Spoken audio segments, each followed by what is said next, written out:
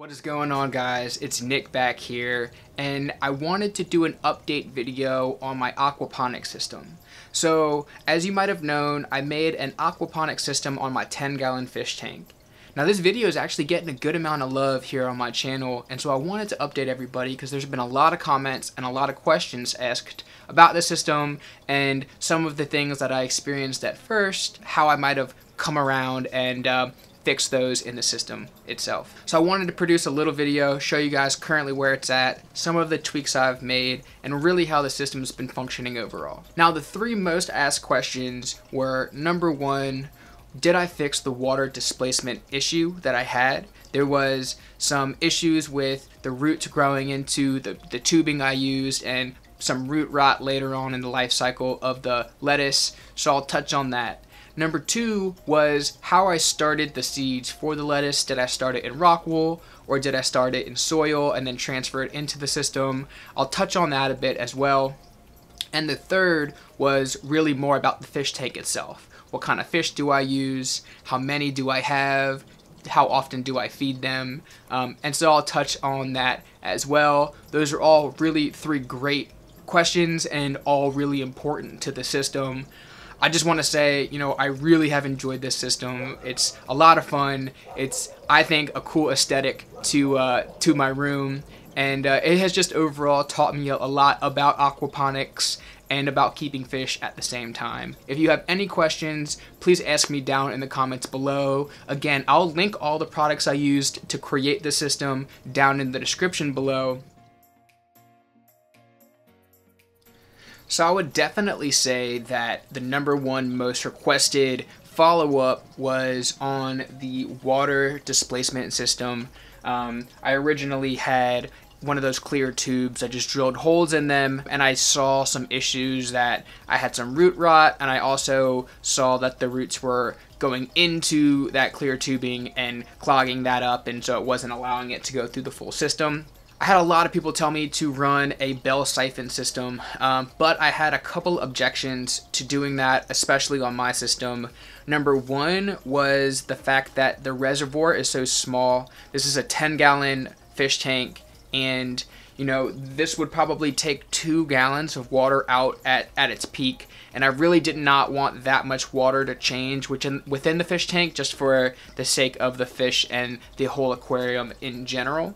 And number two was I just did not feel like it was going to be worth fine tuning the bell siphon system in with you know the water pressure and getting it to really pump out excessively. To do it properly i probably would need to build a new bed um, and new tubing out of it and i just really didn't feel like it was going to be worth it um, in the long run.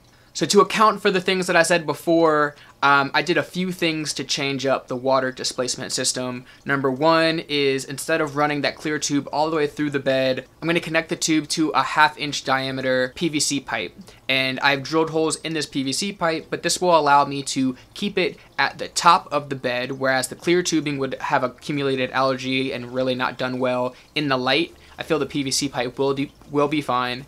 And number two is I actually hooked it up to a timer and I'm gonna shut off the water for an hour two times a day to let all of the water drain out of the system and then refill it back up. I think that's gonna hopefully allow oxygen to get into the bottom of the system more frequently um, and take care of some of those root rot problems I had.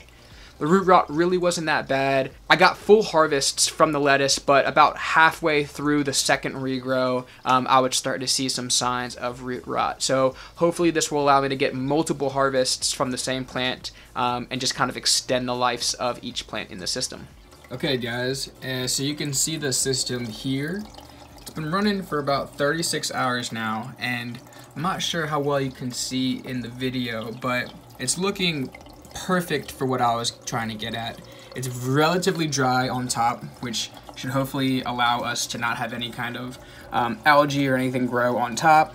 Um, however, if you look right next to the pipe that we have laid in there, um, all of those hydroton are very wet. So it seems to be working in a pretty uniformed manner and uh, just working very well. A lot of water coming down there from the bottom. You can see the pipe that we replaced is just full of old roots and just nasty stuff that we got going on. So definitely an upgrade and uh, looking forward to seeing how it pans out. Okay guys, so I know one of the questions I keep getting asked is how I transfer the plants into the system. Do I start them in rock wool? Do I start them in soil? Um, I guess the answer is I've done both. I actually prefer to start seeds in soil. I think it's just, for me, it's a little bit easier and um, I usually, you know, I have a lot of soil and um, I also have rock wool that I started in as well, but for me, I prefer soil. So um, I wanted to show you how I go about getting the soil off of the plants themselves. Um, it's super easy. I think a lot of people probably do this as well. But there is not a huge stress taking the plants from soil to the aquaponic system, at least in my opinion. Um, it's about the same amount of stress that I've seen transplanting the rock wool directly. I prefer not to have rock, rock wool in a system like the one I've built just because it retains a lot of water and um, to be honest I just think it's it's probably better for me to plant it directly into the uh, the hydroton itself. So this is some store-bought lettuce that I have here. Um, I actually grow most of my lettuce from seed myself. Uh, and I am doing that at the same time. It just would have taken a couple more weeks. But I'm just going to show you how I take the lettuce from the soil and uh, remove the dirt around the roots, trying to keep as much of them intact as possible, um, and then to go and implant it directly into the system. So this one's gonna be a little bit different because there's six in the one container. Usually if you had one, you could just flip it upside down. I'm gonna do it a little bit different, but the most thing is you just wanna tap on the sides and try to loosen up the, the sides from the container as much as possible so it can come out in one piece. And then you just wanna lift it over and then as gingerly as possible, you want to just remove the plant in one fell swoop. Make sure not to tug at the top at all. But then you get your little, your little plant with your little plug. Then I just have a bucket full of, of clean water. Um, even if you get soil in it, it's not a big deal. This is basically just to soak the roots of that plant in and then just with your hands, um, really gently just knead all of the soil away from the roots. So I'm gonna do that here just for uh, a few minutes and then usually I'll then transfer that over to either a sink or a hose and then again kind of just you know gingerly wash away the rest of the soil from the roots and then you're stuck with a pretty clean root system that you can just take over to the aquaponics bed and plant directly into. Okay guys, so we're back at the aquaponics system itself and we have gone ahead and washed off more of the uh, soil. So now we have a nice, um, a nice fairly clean root system. We're gonna now transplant these into the system by making little holes and then putting them in. I'll try to get a close up here on the camera. Okay, so there's nothing too crazy about this process. I'm just looking to uh, burrow a little hole that will be directly under the pipe. Get our roots lay them on in there. And we want to build that back up to where we can support the plant from both sides until it takes root.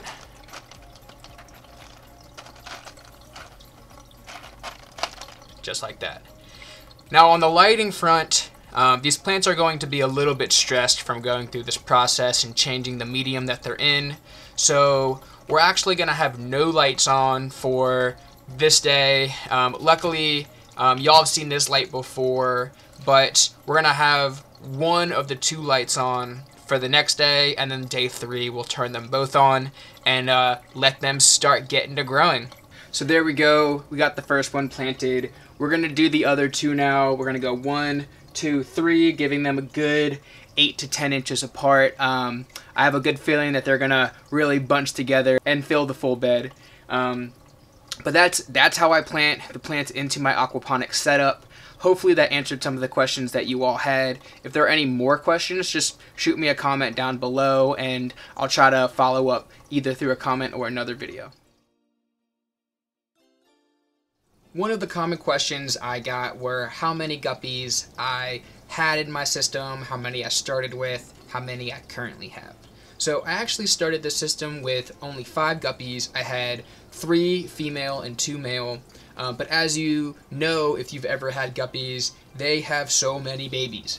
So I quickly saw myself having tons of babies. Um, I've been trying to give them away. I've given them back to the fish store. Um, I've had more tanks um, to account for all of the babies, but this is going to give you hopefully a little bit of an idea of where we currently at in the system. Um, I try not to have more than 10 fully grown guppies. You're going to see a lot of babies in the picture. Um, but it is really important, I think, to make sure you do not overcrowd the system. Having too many fish in the system isn't going to help the plants grow any faster. I think the number one thing we're trying to have here is a healthy fish tank as well as healthy plants up top. These fish have produced enough ammonia and enough nitrate to uh, feed three lettuce at a time for me. That's all I really try to get out of it. But they seem to be super happy uh, I really like looking at them. They're, they're little fun fish and uh, they often have really pretty colors. So hopefully that answers your questions on fish. Um, I think you can use pretty much any fish that you want um, that you can put in numbers. I know goldfish are used very often as they produce a lot of waste. But really, I would just tell you to please take care of the fish and uh, make sure when you have them, you're not using the fish only to feed the plants, but you're also, you know, wanting to provide the fish a good home, you make sure that the whole system remains happy. And guys, like I mentioned, underneath my fish tank, I now have a little artificial light that I got off of Amazon for about $20. Um, as I said before, I'll link it down in the description, but you can see it has been great. I have grown that pepper plant directly from seed under this light. It's never seen real sunlight in its life. And I'm also starting a bunch of the seeds that I'm going to grow outdoors here in these propagators. I have lettuce and um, all kinds of things, a bunch of peppers. Just uh, It's just been great. Uh, the light has worked a lot better than I thought. It draws almost no power and uh, just really excited to be able to start all of my plants indoors. I hope you enjoy this update on the aquaponic system on my 10 gallon fish tank. Like I said before, if there's any more questions, please put them down below. I want to hear more about potential things I could use the system in. Is there something you want to see me grow in the system, other kinds of plants? So just let me know. I want to hear from you guys. As always, I appreciate the view. Please like, comment, and subscribe to the channel if you have not. I'm coming out with a lot of stuff, especially focused around this and just more cool DIY projects. Again, appreciate it, and until next time.